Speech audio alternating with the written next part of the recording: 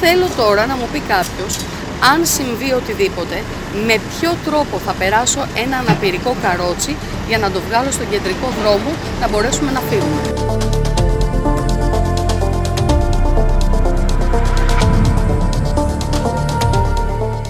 Μεγάλη ανησυχία και ένα μεγάλο γιατί. Η μητέρα της κυρίας Μαργαρίτας έχει 95% αναπηρία, κυκλοφορεί με ειδικό αναπηρικό αμαξίδιο και αν χρειαστεί να την μεταφέρει, δεν έχει τον τρόπο, αφού τα έργα στην Τριών Ναβάρχων συνεχίζονται και οι εργάτες έχουν σκάψει όλα τα πεζοδρόμια και τις ράμπες. Είχα κάνει ένα αίτημα στο Δήμο σχετικά με την ανάπλαση της Τριών Ναβάρχων, επειδή εδώ, σε αυτό το σημείο, σε αυτή την πολυκατοικία, μένει η μητέρα μου, η οποία είναι ανάπηρη 95% και κυκλοφορεί με καροτσάκι. Ζήτησα λοιπόν από το Δήμο να υπάρχει ασφαλής πρόσβαση σε μια κεντρική αρτηρία, είτε στη Μεζόνος είτε στην Κορίνθου, για λόγους ασφαλείας. Φυσικά για να μπορεί να μετακινηθεί και η ίδια όταν χρειάζεται, αλλά και για αν συμβεί οτιδήποτε να μπορούμε να τη βοηθήσουμε. Αυτό όπως βλέπετε κι εσείς εδώ δεν έχει γίνει.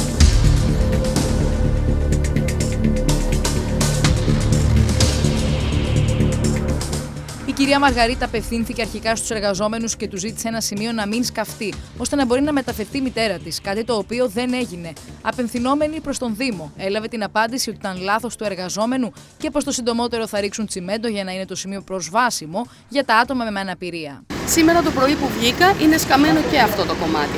Ρώτησα τι συμβαίνει και μου είπαν ότι έγινε λάθος από τους εργαζόμενους.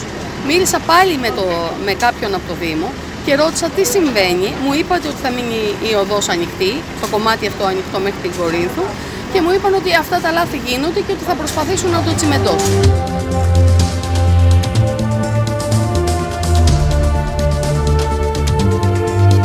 Ο Δήμος Πατρέων απάντησε πως μέχρι μεθαύριο το αργότερο στο σημείο θα έχουν γίνει απαραίτητες εργασίες ώστε να μπορούν να περάσουν τα άτομα με αναπηρία. Εμείς δείχνουμε μεγαλύτερη δυνατόν ευαισθησία για τα προβλήματα που έχουν οι πολίτες μας, οι δημότε μας, εξαιτίας των έργων. Όπως ε, καταλαβαίνετε, αφού θα αναπλάσετε ε, ας πούμε οι δύο ναυάρχων, θα σκάβονται όλα, αφαιρούνται τα παλιά υλικά και τίθεται καινούργια.